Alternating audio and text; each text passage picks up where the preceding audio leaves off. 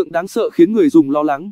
Theo một tài khoản Reddit viết trên mạng xã hội này, anh và vợ của mình đã bất ngờ ghi nhận được một hiện tượng hiếm gặp xảy ra trên chiếc iPhone XS, nhưng lại khiến họ lo lắng vô cùng.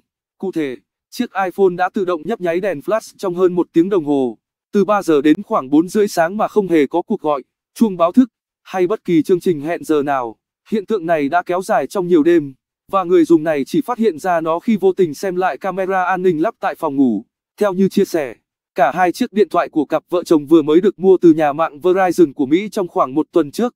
Với phần mềm cập nhật đầy đủ, một số người dùng Reddit đã đưa ra lời giải thích rằng, có thể những gì camera ghi lại chỉ là đèn chớp hồng ngoại được sử dụng trong tính năng nhận diện Face ID.